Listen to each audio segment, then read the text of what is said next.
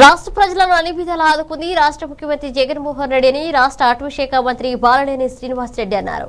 కొండేపి నియోజకవర్గంలోని చింతలపాలెం గ్రామంలో పలు ప్రారంభోత్సవ కార్యక్రమాల్లో మంత్రి పాల్గొన్నారు.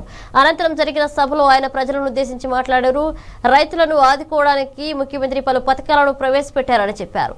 అలాగే పేద ప్రజలు పిల్లల విద్యాభ్యాసం కొరకు ప్రత్యేక పథకాన్ని ప్రవేశపెట్టిన ఘనత ముఖ్యమంత్రికి అని చెప్పారు. ఎస్సీ ఎస్టీలతో పాటు బీసీలకు కూడా పలు సంక్షేమ పథకాలు ప్రవేశపెట్టి వారి అభివృద్ధికి ముఖ్యమంత్రి కృషి చేస్తున్నారన్నారు.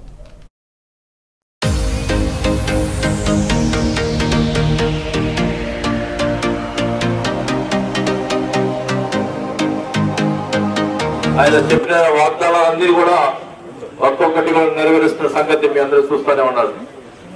మరి ముఖ్యంగా ఆయన ఇచ్చిన వాగ్దానాలు రైతులు రైతులకి రైతు భరోసా అట్లానే మరి అందరు కూడా మరి తొమ్మిదో తేదీ నాడు అమ్మఒడి కార్యక్రమం.